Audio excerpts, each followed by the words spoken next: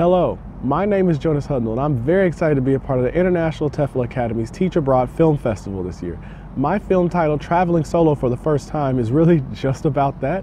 It's really about leaving what is familiar to you behind and being able to explore the huge world outside of where you're from. Uh, and I would really hope that I would be able to inspire others to be able to do the same in that even though it is nerve wracking, it is not as bad as you think it is. Um, I would like to be able to thank all the sponsors that were able to make this event possible today, and uh, I hope you enjoy the film.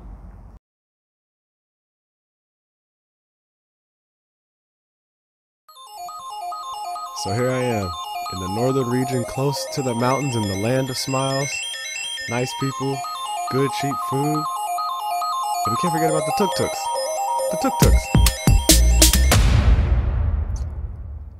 But let's take it back a little bit. Let's go to where it started. How I had to fly out of America first. Portland, gotta fly up to Seattle. We'll go to Seattle to Hong Kong. 14 hour flight, bro. I'm not ready for this. Yo. Okay, so taking this 14 hour flight, I recognize was a lot, but I don't know. Personally, it didn't take the toll on me that I thought it would.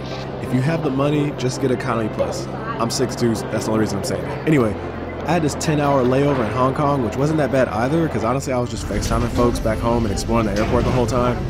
And then I finally landed in Chiang Mai that afternoon. I was so nervous about actually leaving the airport and heading out for the first time, for real, for real. Just take a breath. I promise you, you'll be fine. Download the Grab app. It's like Uber, but for Southeast Asia. You'll thank me later.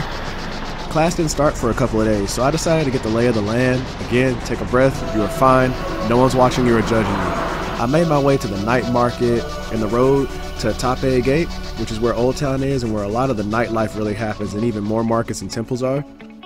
Songkran was going on also at the time, so there was even more people out, which didn't make me feel as alone as I was because I was doing the whole trip by myself. And I didn't have long to be alone because all right, cool. class started. And then we got everybody else who's relaxed. So relaxed. so relaxed. So we out here. You feel me? Yeah, we out here. We in here. Yeah, yeah, yeah. Tell you got it. You, we're deep. Oh, he can't stand on the back anymore. That's unfortunate. Oh, she's gonna let me in. Oh, okay, cool. Yeah, again. Uh, yeah, yeah. Hey. What's up? Hey, Dom. Tell the people what we're doing. We're just here enjoying the, the temples. Hi. What's good, bro? You've been. Oh my God, they're matching. That's so cute. Hello. All right, this is my girl Marina. You're all up on my toe, but we, we pop it. And then look at the mall. Look at the mall. Not only did I have my classmates to explore Chiang Mai with, also had a bunch of Thai friends that I still talk to to this day. They taught me some Thai, took me to bars, temples, and even around the university that they attend. How you feeling? Oh yeah, let's not forget all the teaching we feel did. like rainbows. all good. Very good. How you feeling? How you feeling?